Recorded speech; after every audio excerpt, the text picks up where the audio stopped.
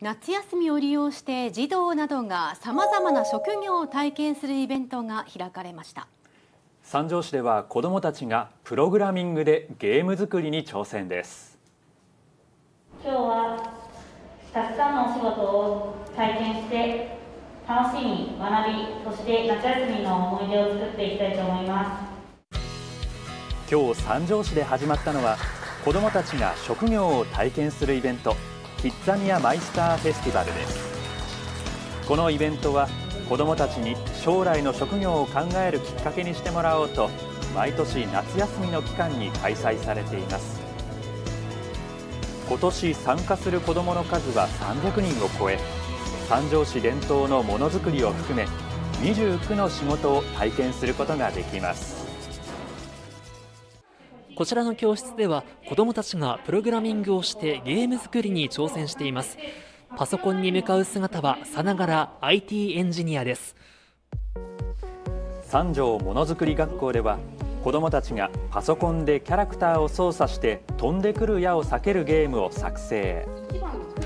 講師からのアドバイスを受けながら慣れないプログラミングに挑戦していました。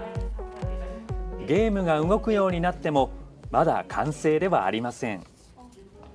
子どもたちはそれぞれ家族や友達など遊んでもらう人に楽しんでもらえるようにゲームをカスタマイズ。元は右から左だけの矢の動きなんですけど右左上下から出るようにカスタマイズして。一人一人こだわりが詰まったゲームを作成していました同じようなプログラムでもちょっとずつ違うところがあるのでそこを変えるのが難しかったです。しかし職業体験はこれで終わりではありません。みんなに給料を渡します。じゃあ一人ずつ、はい、子どもたちに手渡されたのは給料。三条ものづくり学校内のお店ではお菓子やおもちゃを買うことができます。さらにお給料が使えるこちらのお店のレイアウトも実は子どもたちが考えたものなんです。